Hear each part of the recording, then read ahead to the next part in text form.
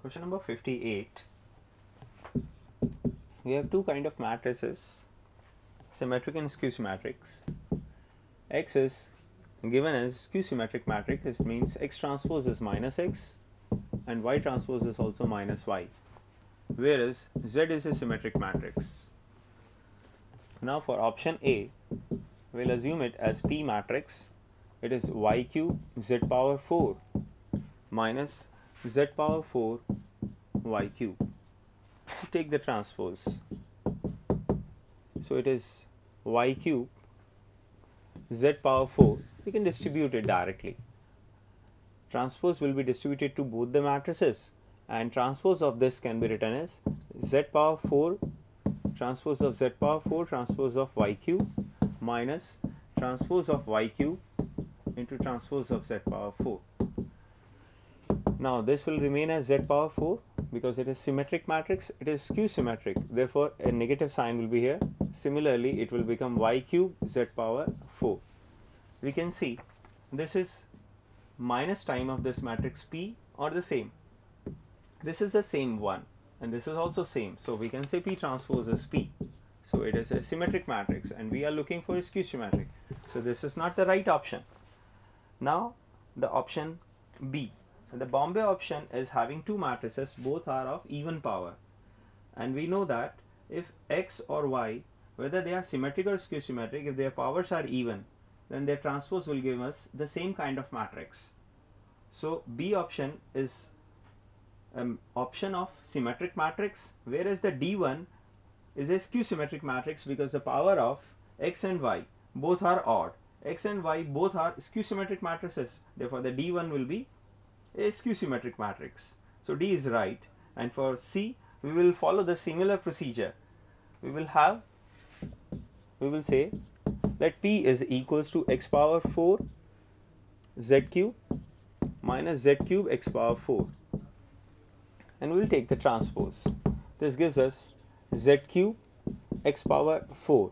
Now z is symmetric, this is skew symmetric but even power therefore there is no change. Similarly here it will become x power 4 z cube. We can see it is minus p it means skew symmetric. So C and D both are correct options. 59 problem as the column A part the magnitude of projection of the vector. We will take the projection of this vector alpha i cap plus beta j cap over root 3 i cap plus j cap. This is the dot product with its unit vector and this is given as as root 3 but it is the magnitude which is root 3 that's why this is the relation. To solve it. Alpha root 3 plus beta is equals to plus minus 2 root 3 one more relation is given we'll use it alpha root 3 plus beta and beta is alpha minus 2 upon root 3 equals to plus minus 2 root 3. We will solve both the signs positive and negative and we'll get the possible values of alpha. The values of alpha comes to be 2 and minus 1. So the modulus will be 1 or 2 and there are two choices P and Q. So for A part the correct match is P and Q. For B part of the mass column this there is a function which is given as differentiable. So it will be continuous also. We will take the left hand and right hand limit at 1. The left hand limit is minus 3a minus 2 and right hand limit is b plus a square. Now LSD and RSD, the left hand derivative will be minus 6a and the right hand derivative will be b. We will solve these two equations. We will eliminate b and get a quadratic in a which is a square minus 3a plus 2 equals to 0 gives us a as 1 and 2. So the correct choices are P and Q for the B part. For the C part, it is an interesting arrangement. We have seen this kind of arrangement in our sheets and literature. This can be written as 3 minus minus 3 plus 2 omega plus 3 omega square raised to the power 4n plus 3. This is the last term. I am writing the last term in the first and modifying the first term in terms of the last term. How I am going to do is, I will say if I multiply this term by omega, it will become the first term, base of the first term, minus 3 omega, 2 omega square and 3. And I will say I have written the first term in terms of the last term because this factor is for the last term. In the similar way, I will use the second one. It can be written as minus 3 plus 2 omega plus 3 omega square multiplied by omega square raised to the power 4n plus 3. Now you can see it is minus 3 omega square. This is 2 and then 3 omega. And the last term as it is minus 3 plus 2 omega plus 3 omega square. So this trick made this problem very simple.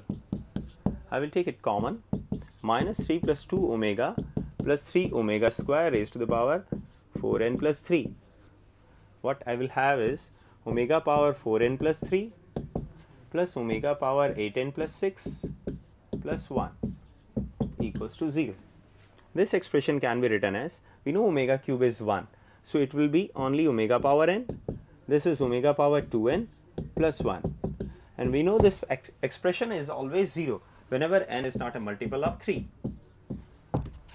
So, correct options will be P, Q, S and T. P, Q, S and T. Entries will be the correct entries for it. Now the D part, last part of this the column. It is a very routine kind of problem. The harmonic mean of A and B, which we used to write as 2AB upon A plus B, is given as as 4. And 5, 4 more terms are in arithmetic progression, which gives us a relation 5 minus a twice of 5 minus a is equal to b minus 5. These are two relations. I will replace the value of b from here in this relation. I will have a quadratic in a and that quadratic will give me the values of a. The values of a comes to be 5 by 2 and 6. I already solved it for you. Now they are asking us q minus a which is in fact the double of common difference of this arithmetic progression. So, it is 5 minus a multiplied by 2. I will put the value and get the answer. By 5 by 2 it will be 5 and by 6 it will be 2. So, 2 and 5. So, Q and T will be the right options. Q and T. That's it.